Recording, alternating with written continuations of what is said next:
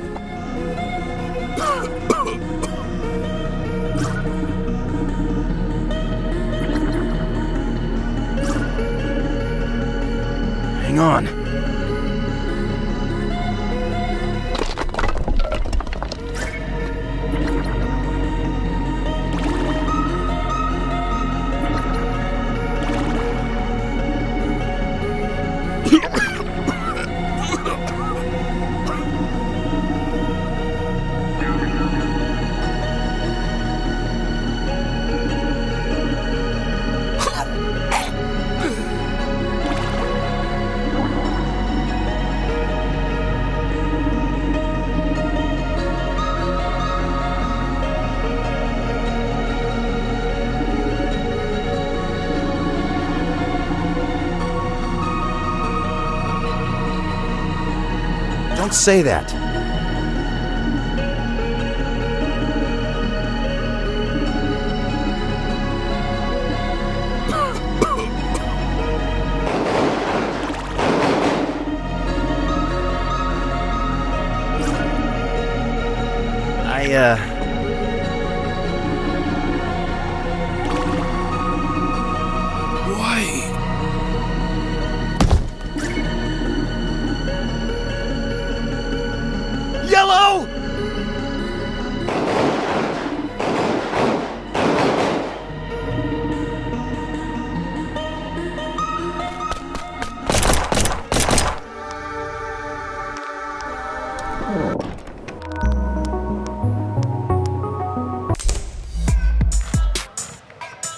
The best part about reading in heaven is that I don't need to wear my contacts.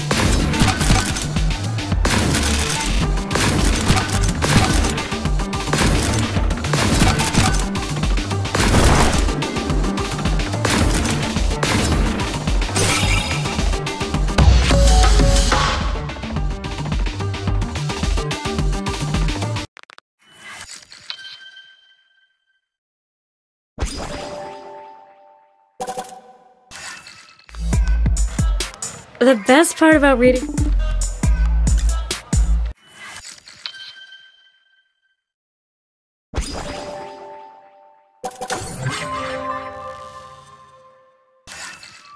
Where am I?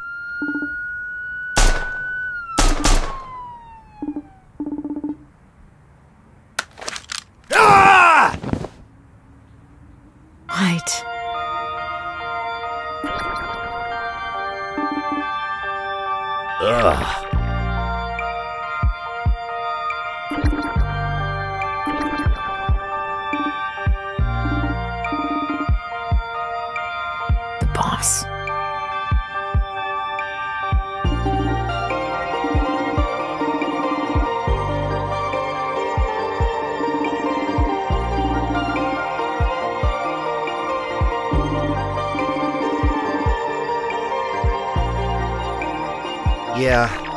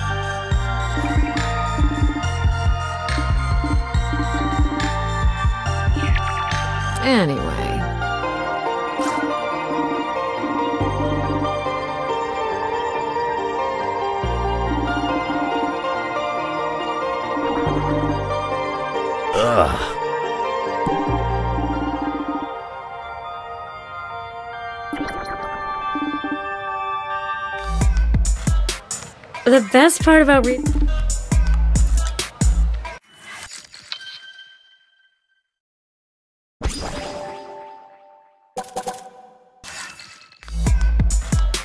I've been trying my hand at gardening lately. It's a lot of trial and error, but I'm learning a lot. For example, don't tell your plants jokes, or they will definitely die.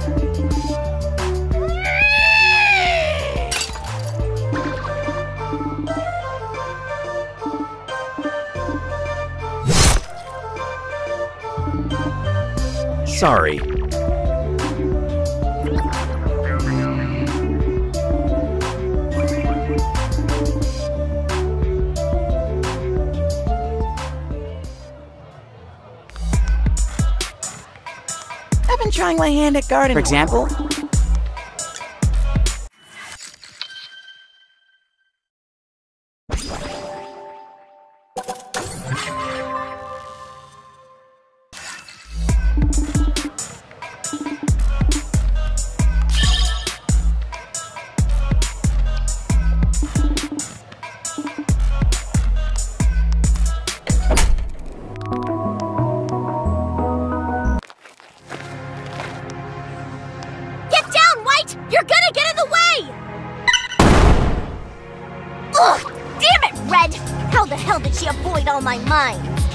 you guys friends? Why are you always trying to blow her up? Ugh! It's girl stuff, White. You wouldn't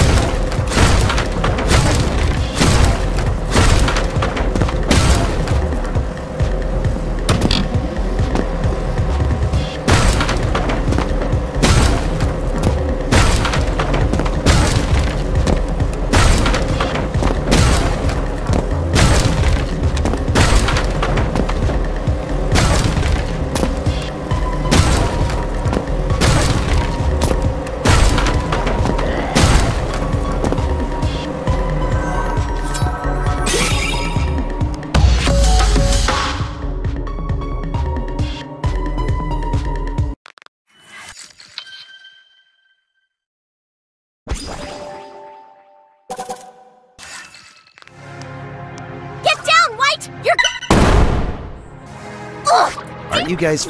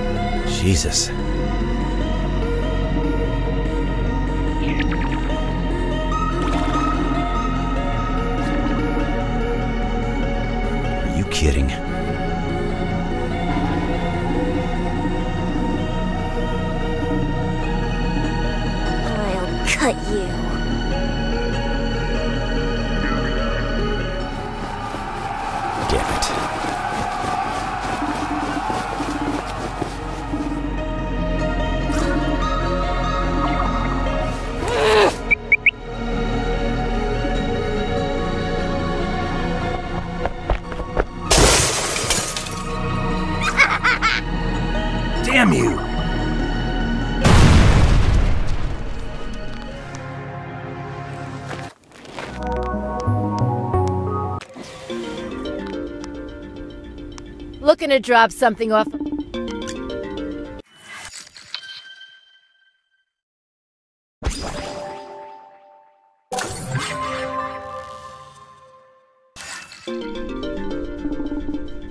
I thought you might like this. Oh, yeah.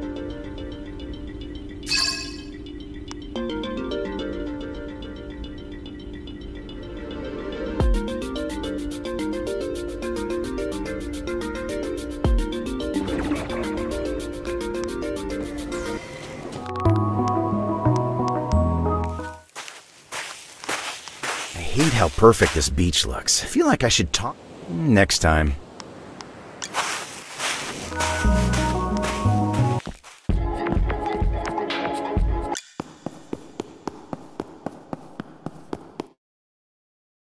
I don't know, Mikey. This place doesn't seem so. Ah! Ah, Sheesh. Tripwires? Are you enjoying my little presents, White? I suspected these might be your doing. Must have taken a long time to set all this up for little old me. Oh, don't worry. It was so worth it to watch you squirm. One wrong step and bits of your flesh will rain down on these gardens like confetti. My heart is pounding just thinking about it. Don't you have a mission you should be doing, little weirdo?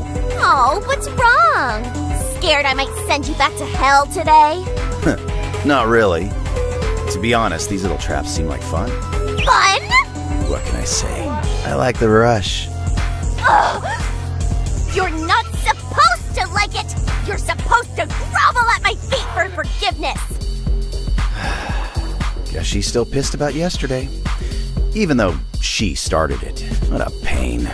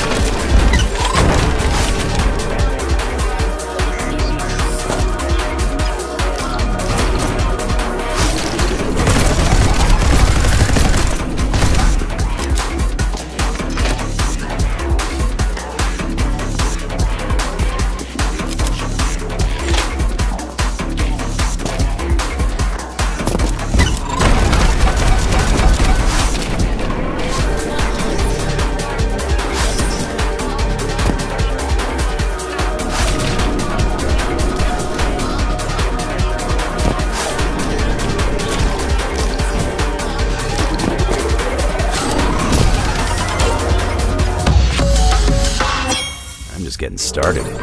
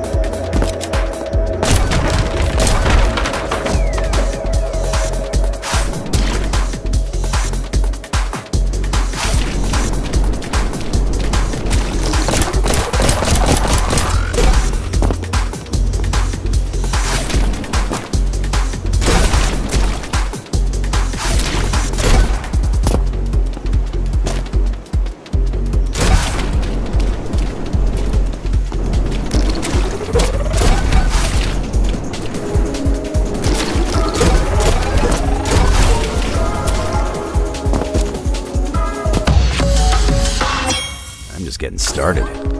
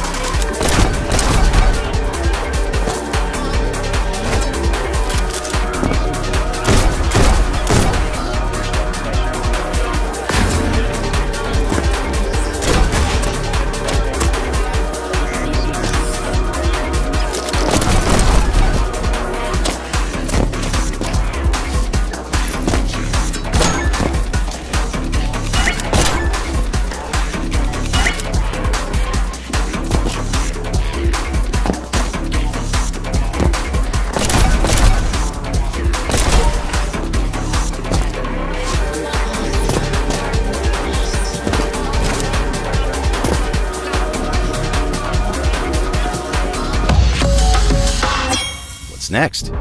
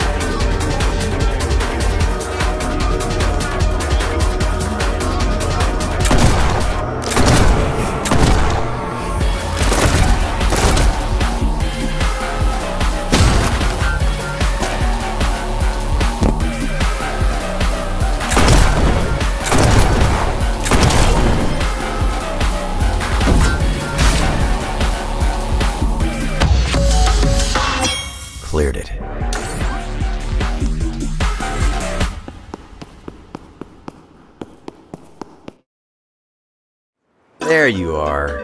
Not yet. I was about to head up the stragglers in lower heaven. Aw, abandoning me already. Oh, whatever will you do without me? White and red, sitting in a tree. E A T S H I. Oh, Violet. I was hoping I'd get a chance to compliment you on your work out here. Your traps have really been keeping me on my toes. Like I care about your toes. They've actually gotten a bit too easy for me. Maybe you could make them, I don't know, a little less predictable. Hmm. You know, White, you sure talk a big game for someone who just stood by while your friend got killed. Jesus, Vi. I wonder what you'll do when green comes for red next. Will you give up? Crumple into a ball and cry? Oh, I just don't know if I want to wait that long to find out. Maybe I could just kill her myself. That's enough! that little brat. Just a few days ago, she was calling me a great teacher. Well, how about I teach her a lesson she won't forget? Come on, White, let it go. Let it go! She just threatened to kill you. Girl has issues. Now, I'm not saying you're wrong, but this is kind of all she knows. At a time when most young people are learning how to process their feelings, Violet was picking locks and slashing throats. You saying we don't have sympathetic backstories of our own? Yes, well, we were a bit older when we got into our line of work. I don't know. I just can't help but feel for her. In life, she always seems so lonely. Lonely, huh? How am I supposed to work with that? You're a smart boy. I'm sure you'll figure something out. Wait, you really think I'm smart? Sure, for a baby. Not this again. Go back to complimenting me. Tell me I'm sexy or something. I can't tell a baby he's sexy. I'll go to jail. For the last time, I'm not a baby!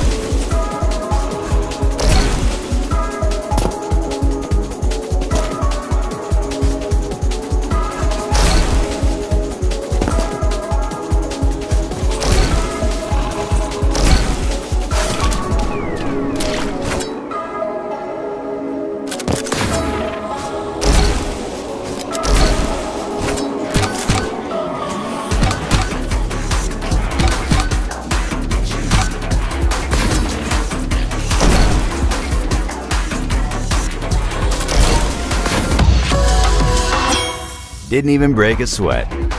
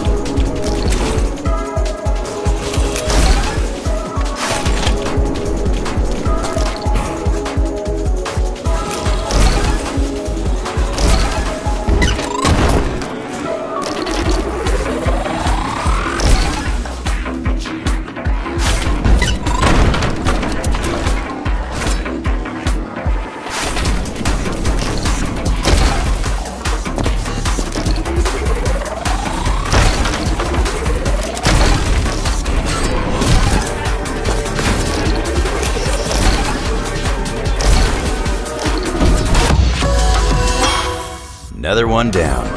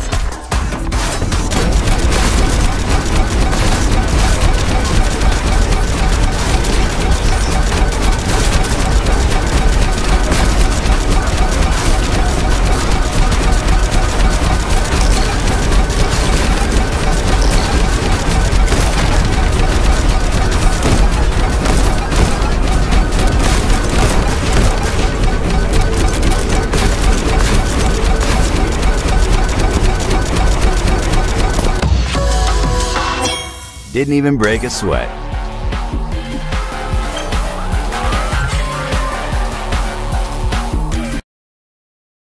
Violet, can we talk? What? You want to rub it in my face that you're not dead yet? No, I, I just wanted to apologize for how things went down yesterday. I don't want an enemy in you, I. I don't want an enemy in you either. but I need you to know that what you said earlier was callous and out of line. About your flesh confetti. Yet, no, no! I, I meant what you said about Red. Well, don't expect me to apologize for it. Red is nothing but trouble. She'll milk you for all you've got, then stab you in the back. Damn it, Violet! No! I'm not doing this again. You can't keep accusing our friends of trying to kill me, spring literal death traps on us, then expect me not to consider the possibility that you are the crazy murderer around here. Uh, Newsflash, bozo! All your friends are crazy murderers. That's why we're all here in the first place. What makes you think Red is any more trustworthy than me? Has she told you anything about your life? About Green? Oh, she told me all about Green. Really? So then you must already know who he used to be. Why would that matter? Oh, it matters so much. You, of all people, would agree, White. What the hell are you going on about? You dummy. Green was our old boss. Why would Red keep that a secret from you, I wonder? Oh, you're full of it. Hey, don't take my word for it. You can always ask Green yourself.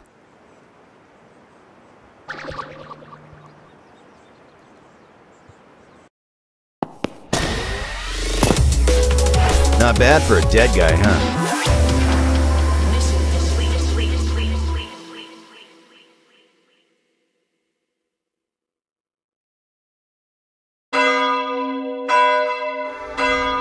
I'm seeing far fewer neons in the pews today.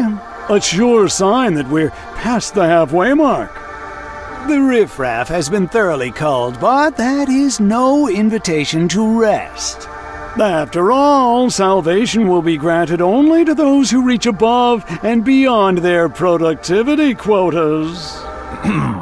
I have something I'd like to say. Uh, yes, uh, Green, uh, go right ahead. White!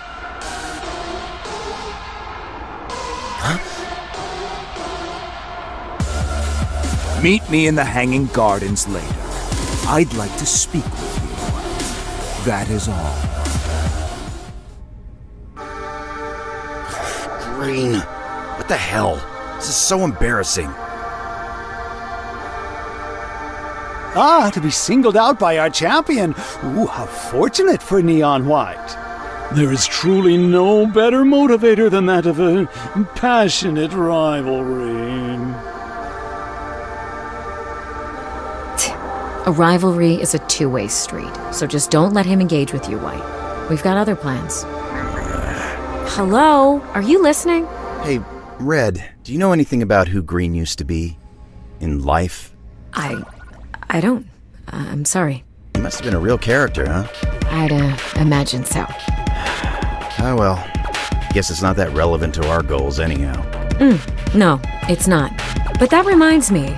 I did meet up with a neon who seems like she might know someone. I was hoping it wouldn't be true. She's definitely hiding something. It's written all over her face. Go ahead. Keep your secrets, Red. I'll uncover the truth myself.